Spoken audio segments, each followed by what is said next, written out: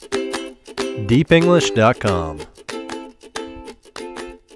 It's no secret that the number of bees around the world is decreasing. Bees are simply leaving their hives and never coming back. This is called colony collapse disorder, or CCD. Scientists aren't 100% sure why it's happening, but it spells big trouble for humans. Many of the foods humans eat depend on bees for pollination. Meet New York City resident Andrew Cote, a man with a mission. Andrew doesn't let the surrounding concrete jungle stop him from keeping bees. He keeps over 75 hives throughout the city, mostly on rooftops. In fact, he's even made a business out of it, servicing restaurants and hotels like the Waldorf Astoria. At this famous hotel, Andrew helps them keep 360,000 honeybees in six hives on their 20th floor rooftop.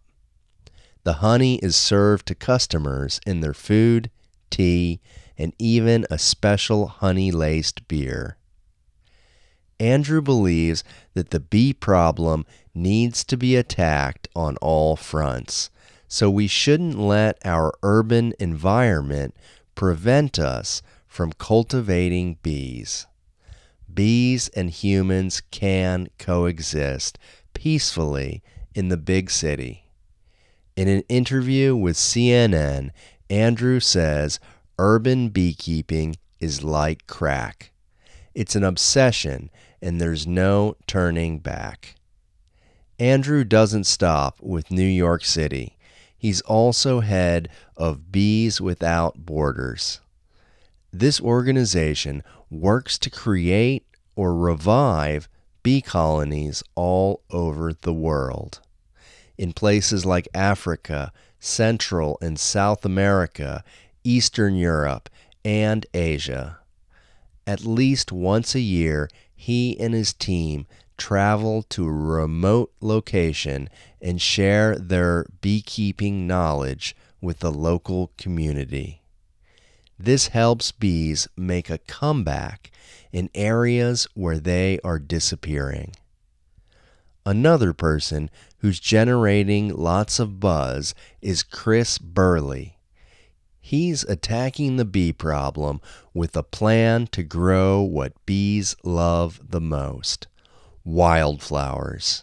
To do this, he started a company called Seedles, which makes pellets that look like candies. However, these bright little balls are actually made from compost, clay, and wildflower seeds. All you need to do is walk around and throw the pellets on the ground wherever you want. That's it. When it rains, they dissolve into the soil and wildflowers will grow buy a bunch of seedles, take a stroll through the city, and you could be the next Johnny Appleseed of the bee world, growing flowers that bees need to survive. Complex problems need creative solutions.